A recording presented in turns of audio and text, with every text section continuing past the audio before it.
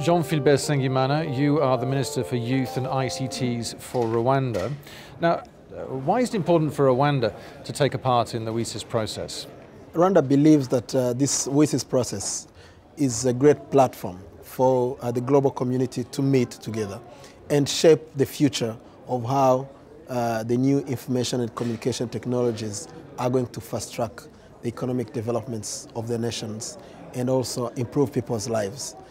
We are very committed. Rwanda is uh, one of the sponsors of the special events in the WSIS, and uh, Rwanda has won many prizes for uh, contributing substantively to the progress uh, of this agenda. And do you think that uh, within Africa, Rwanda is uh, one of the leaders when it comes to use of ICTs?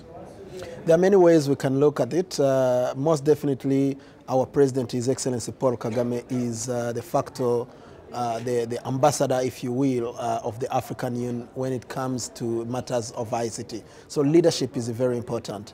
But also the leadership needs to be followed by uh, actual investments. So uh, we, we have been investing a lot in ICT, but also opening up our market so that the private sector can invest and create jobs and grow the economy. And when it comes to the, the involvement of the private sector and uh, civil society, do you have a, a, process within Rwanda that allows the sectors to work together with government? Absolutely. There are many processes. In, uh, in, uh, in the government, we have something we call a joint sector review.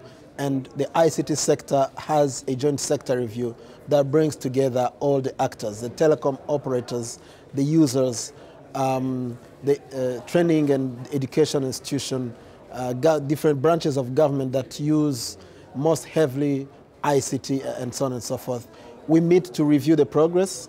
We need to we meet to see how fast we can grow the market because we know that outside the room people will go out and compete, but there are things that we do best when we cooperate.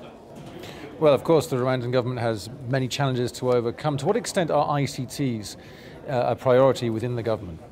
ICT is central to our vision uh, of uh, being a middle income economy by 2020 and shifting from an agriculture-based economy to a knowledge-based economy.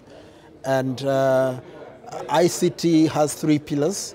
One is connectivity, another one is uh, training and skills development and capacity building, and the third is, um, is uh, applications and content.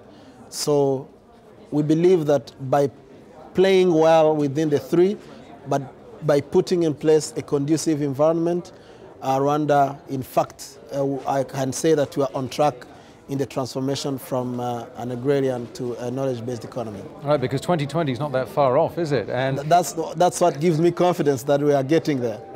Okay, thank you very much for joining us today. Thank you so much.